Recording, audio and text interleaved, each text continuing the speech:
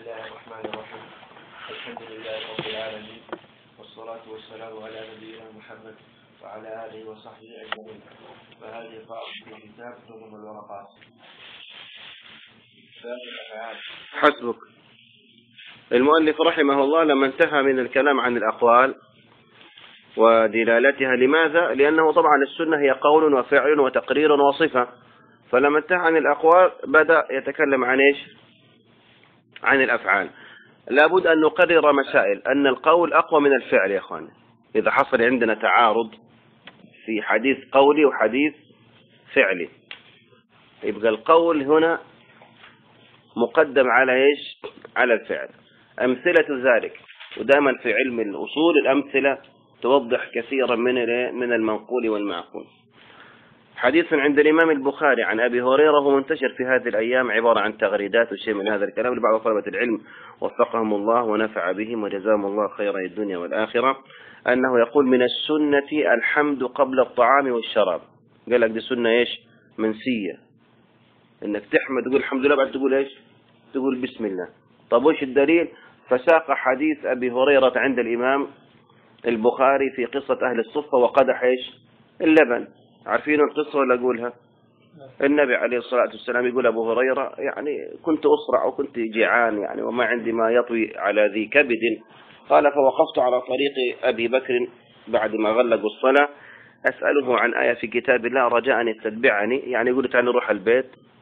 فأجابني ومضى وكذا عمر. فلما جاء النبي قال اتبعنا أبا هر. عليه الصلاة والسلام.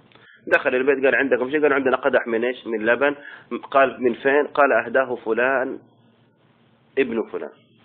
أو قال أهداه لك فلان أو فلانا قال لأبي هريرة ادع أهل الصفة. وكان أهل الصفة هم أهل الإسلام. هم يعني ولا لا يلوون على أهل ولا مال. هم أهل أهل الصفة اللي هم في المدينة موجودين الصحابة من فقراء الصحابة. لا عند ما عندهمش أهل في المدينة. عددهم يزيد عن سبعين يقل يعني يزيد هكذا يكون أحيانا. في الحديث ذا كانوا سبعين.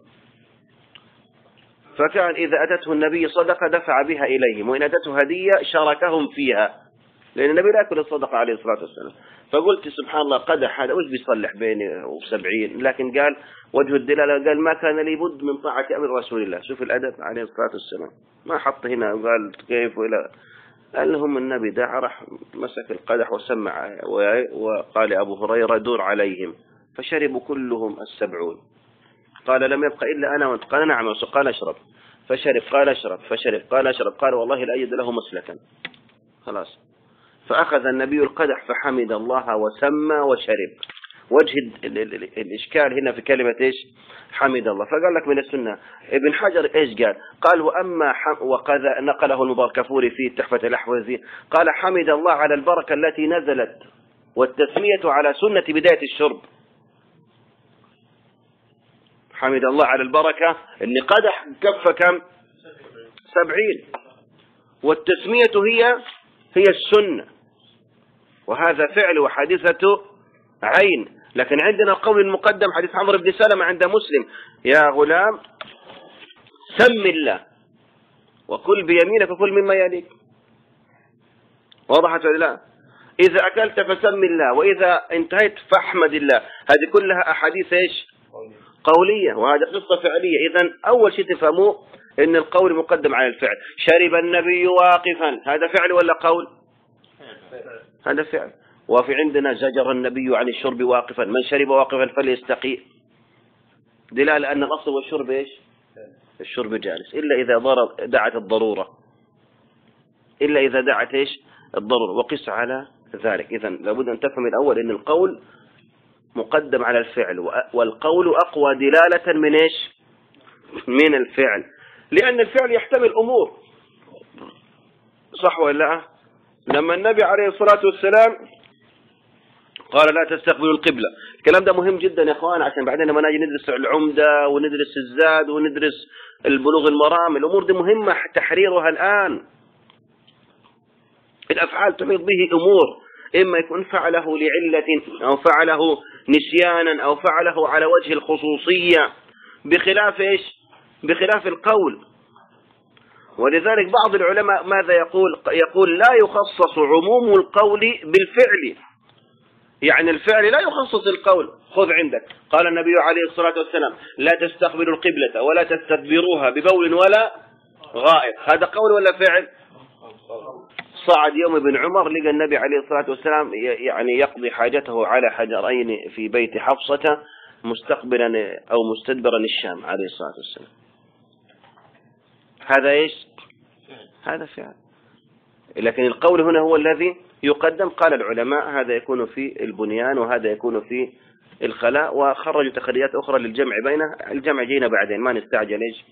لا نستعجل عليه. لكن المهم يعني مستقبل الشام مستدبر إيش؟ مستدبر آه، القبلة. بعض الناس قال لك طيب هذا هل هل هذا يخصص؟ آه، هنا العلماء قالوا نعم هذا يخصص. لماذا؟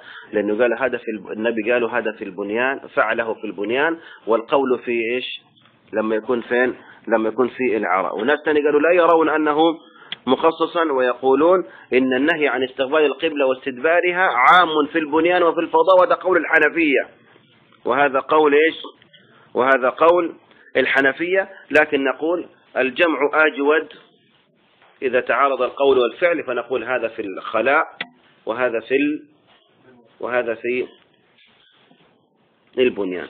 وسنأتي إذا حصل التعارض ماذا ماذا يكون من مثل هذه الأشياء. إذا نقول القول أقوى الدلالات ثم الفعل ثم التقرير. ثم إيش؟ ثم التقرير. نكتفي بذلك إن شاء الله. نكمل في المجلس القادم. هذا والله أعلم. صلى الله عليه محمد وآله وصحبه وسلم.